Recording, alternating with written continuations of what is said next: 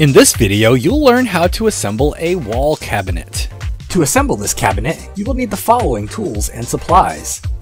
A power drill equipped with a Phillips head bit or a Phillips head screwdriver, a dead blow hammer or rubber mallet, and a staple gun. While an air-powered pneumatic staple gun will make the job easier, you can also use an inexpensive manual staple gun. We tested the Arrow Model T50 heavy-duty staple gun with success, and this model can be found for under $20 at most hardware stores.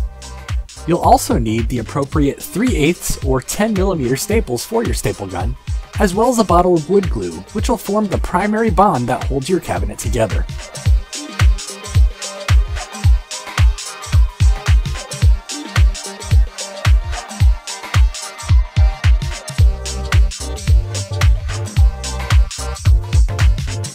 Apply a bead of wood glue into the grooves on the back side of the front face of the cabinet.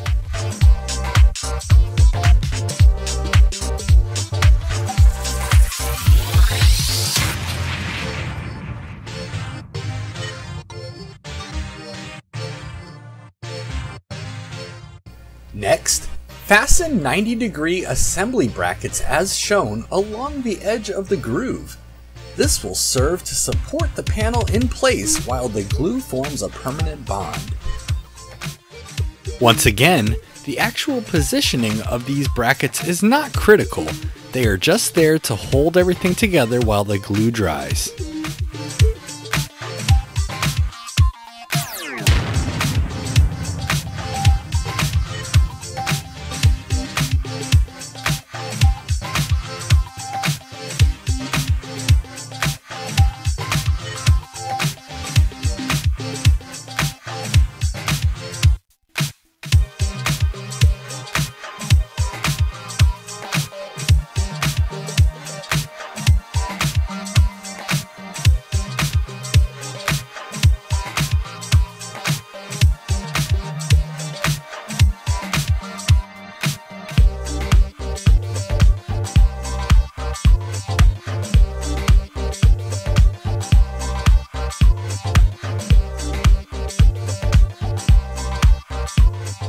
Repeat the previous steps on the opposite side.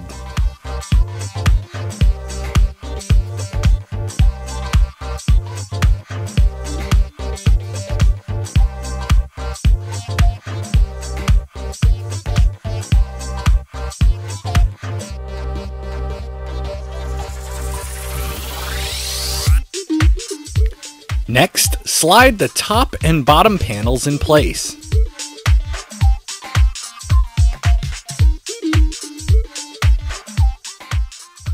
Now that you've got the top and bottom panels in place, use 90 degree assembly brackets to attach them to the front and to one of the sides.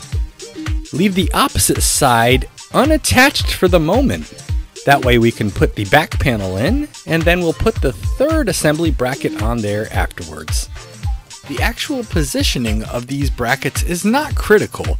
They are just there to hold everything together while the glue dries.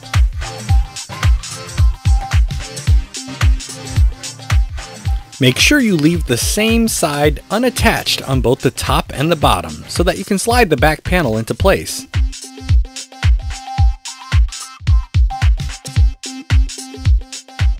Slide the back panel into the grooves, line everything up, and then fasten it together using a staple gun.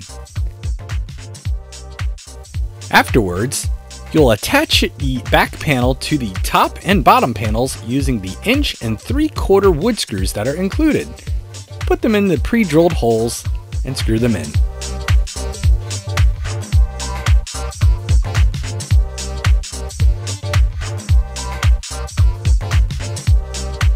Now that the back panel is secured in place, you can attach a final 90 degree angle bracket onto the remaining side on both the top and the bottom of the cabinet.